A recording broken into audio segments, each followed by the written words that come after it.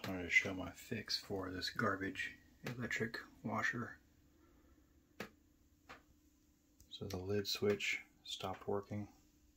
So I got a cheap 120 volt on off switch with a jumper wire going from the yellow to the red wire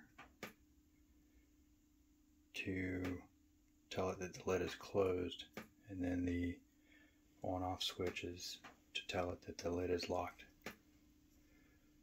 Um, so when I'm done I'm going to try and fit the switch into the original slot. I'll have to do a little bit of uh, Dremel work but hopefully that'll get it looking factory again.